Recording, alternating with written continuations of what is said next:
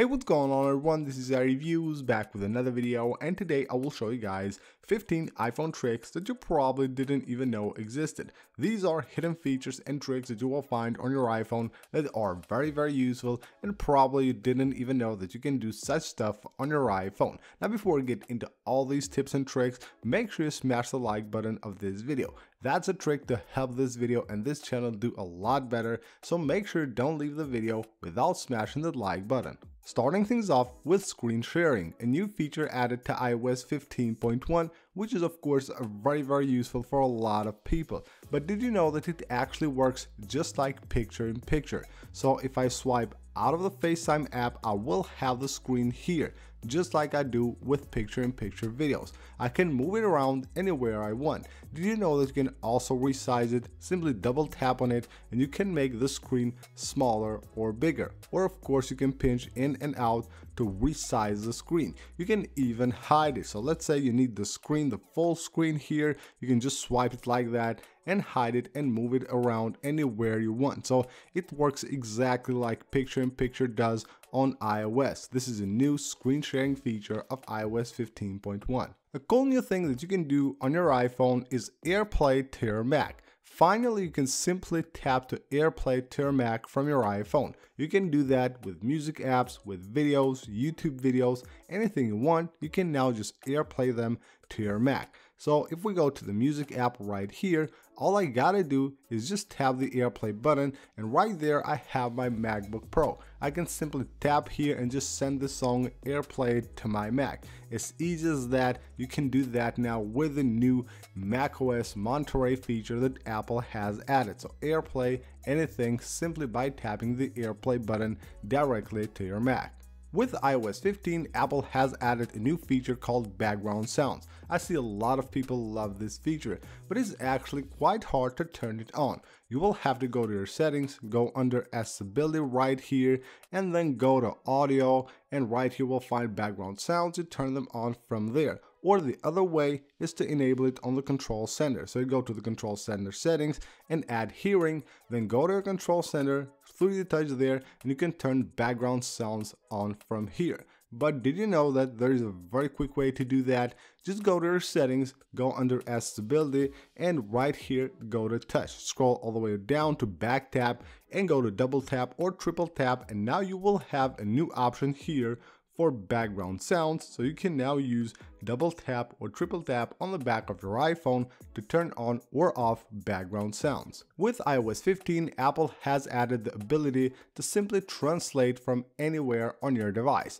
But did you know that you can also translate PDF documents? So if you have a PDF document opened on your device all you gotta do is just select any word that you actually want to translate and just tap the translate button right there. You can pick of course here the languages to which you want to translate and you can simply translate directly from any PDF file that you have opened on your device without having to use any app or extract anything from the PDF directly on the PDF, select any text and simply translate from there. Most of you guys have probably used guided access on your device. So when you turn on guided access, you do it by triple pressing the side button of your device. You do that and it is enabled.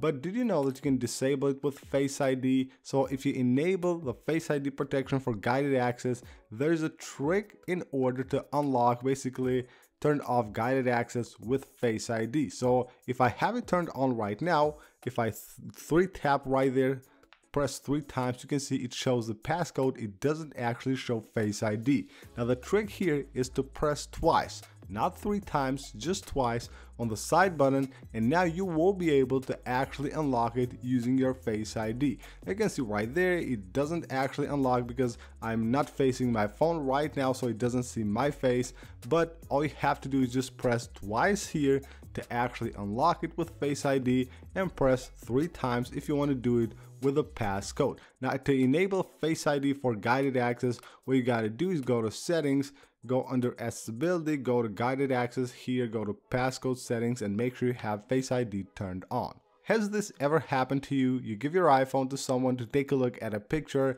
but they just slide like left or right and take a look at other pictures that you don't want them to.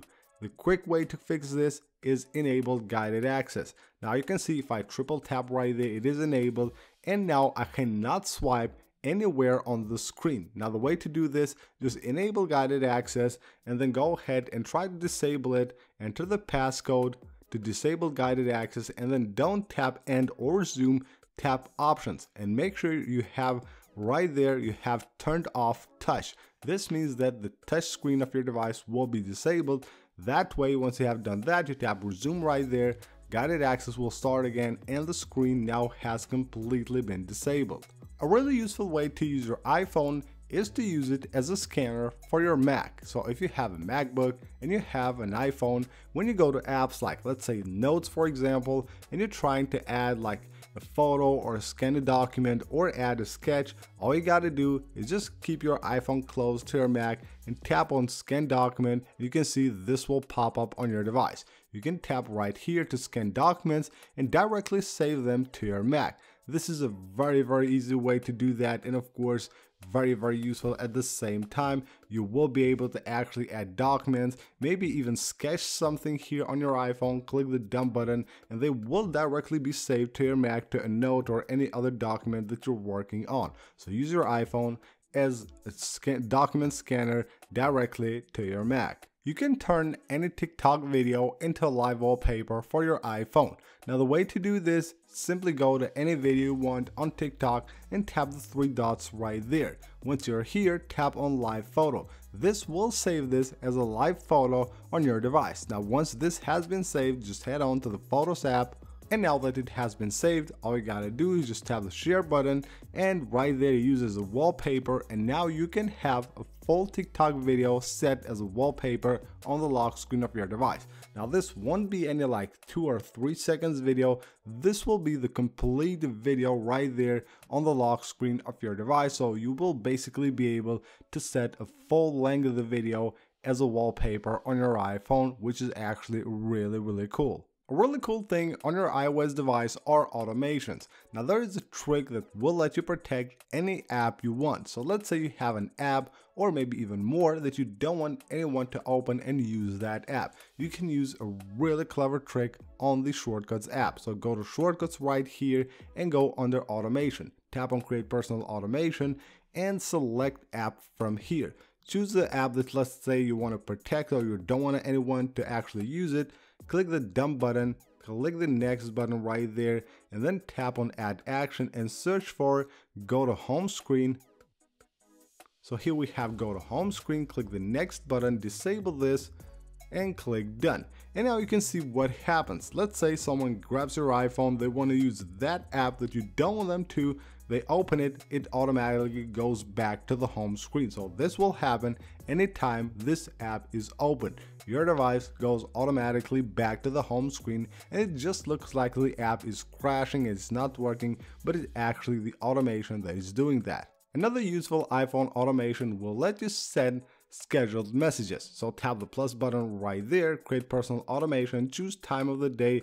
Right here, choose the time when you want to send the message, click the next button and go ahead and tap on add action and search for send message. Right there, you will have send message. You type the message right here and then of course choose the contact here to which one to send this message. You can choose multiple contacts as well. And once you have done that, tap the dump button, tap next, make sure you have disabled this button right here, click done, and now you're good to go. At that certain time of the day, the message will be sent automatically. The iMessage app on iOS is pretty powerful. You can track any flight you want from the iMessage app. So let's say you have a flight number, all you gotta do is just message it to yourself maybe or to any of your friends and then just tap on that number and tap preview flight and right there you will have a preview of that flight. All the details you need to know about that flight will be displayed right here on the iMessage app. This is really cool trick and a very very easy way to actually track any flight you want to. And you can see right here what we have these like invisible messages that you can send to anyone you want. Now the way to send them, just go ahead, tap the message you want to send, and then from here tap and hold that that button right there, the blue button, and tap right here on invisible link and just go ahead and tap right there to send it. Now you can see how it displays. Now once someone receives this message, all you gotta do is just like swipe like that on the message and of course it will actually display the message. The picture in picture feature of iOS is a pretty cool one and of course very useful at the same time, but it's actually very very smart as well. So let's say I'm on the home screen here, I'm watching a video and I want to go ahead and send a message. When I just tap right here, you can see it's just on the place where the keyboard should be. And of course, you don't have to actually move it around. All you gotta do is just tap right there to type a message. As you can see, it will automatically push up the video. So it just moves back to the place it was once you have removed the keyboard from the screen of your device. It's actually really, really smart and you don't need to do anything manually. Did you know that you can increase the volume of your device on iOS and the way to do that is basically in two ways. So first of all, generally on your iPhone, you can do that from the EQ option by simply going to the music app right here, go to EQ and just go ahead and choose a late night right there. That will increase the volume of your device and of course have a slightly louder volume on the speakers of your iPhone. Now there is another way to do that if you use headphones. Now for headphones, you gotta go to the settings here under accessibility and then from here, what you gotta do is go under audio and visuals, go to headphone accommodations, make sure you have this turned on. And right here, just swipe to strong and now you have increased the volume of your device. Of course, this one, I've seen this on a ton of videos, but this one will work only on headphones, not on the iPhone speakers. And if you use Spotify, which of course a lot of people do, you can increase the volume of your iPhone by going to Spotify, go to settings, and then go under playback and right here you have volume level. Just make sure you go ahead and choose loud and you will have more volume out of your device. And last but not least is a live pictures trick. So I have shot here like four or five different live photos and if I tap and hold the first one you can see it continues to the next one. So it will play them just like a video. So when they when you shoot them one after another that's what happens. You can also go ahead and select these live pictures and tap the share button and then actually go ahead and save these as a video. Now the whole four of them will be saved as one video and that is actually pretty pretty cool you can turn a bunch of live photos into a single video. So that's pretty much it for this video guys, hope you guys enjoyed the video and learned some new iPhone tricks today. So thank you guys for watching the video, don't forget to subscribe for more and leave a like on the video, and I'll see you on the next one.